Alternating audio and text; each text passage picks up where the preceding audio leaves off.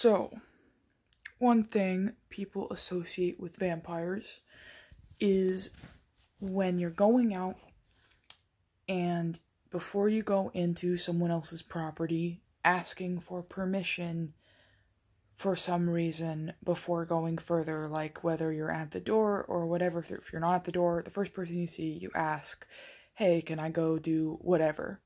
If there's other people like sitting or something.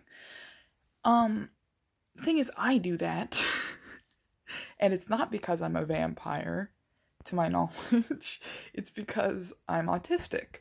So for me, when I'm in a new place and I don't know it and it's foreign, and I I just feel more comfortable asking for permission before doing something because I don't I don't know if there's like a certain way about it. Like in a new place, there's n- new variables that are difficult for me to mentalize.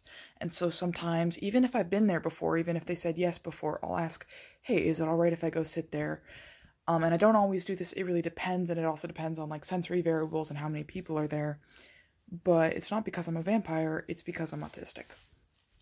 Another thing is, um, I jokingly often refer to myself as a demon uh, somewhat jokingly, somewhat seriously. Um, and it's because multiple, at least three, of the uh, groups I fall into have been historically demonized to a point where I don't even have the will to fight it, where I'm just like, yeah, okay, I'll be a demon. If that's what the world sees me as, I might as well embrace it, is I guess how I feel about it, because uh, one of the things with being autistic is bullying and insults don't exactly have the same like growing up you can't just be like oh well that's not true because when you're younger you really think it is true like if someone calls you a freak or a demon or whatever says you're you know if you if you are told repeatedly your whole childhood that there's something horribly wrong with you you don't just uh, be like, oh, well, you know, they're just stupid and those are just words. You think, oh, wow, there is actually legitimately something horribly wrong with me. I must be a freak. Um, and so I grew up just seeing myself as like a monster. And so now as an adult, I've reclaimed that as a source of power and pride rather than a source of, oh, I guess I just have to die now because people can't handle my existence.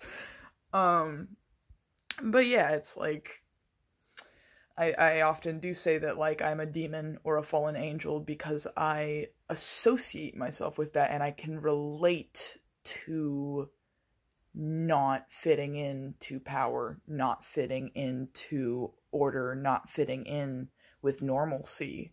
And because of that, being conflated and being told that I am inherently and innately evil uh, to some extent. People don't use that word, people don't say it that way, but it's the message that it conveys to the individual, and it's the message that I internalized my whole life is that there's something broken in me that other people think they can fix, and I need to rely on them because I can't trust myself.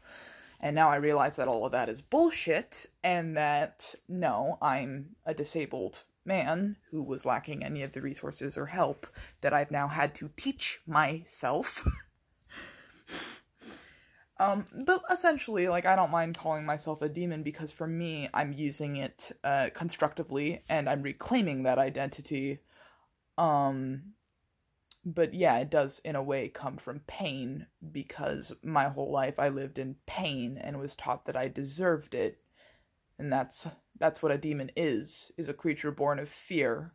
And as I myself am a creature born of fear, who was put into this world by a different creature who was equally born of fear in other ways and put that fear into me, I am a demon.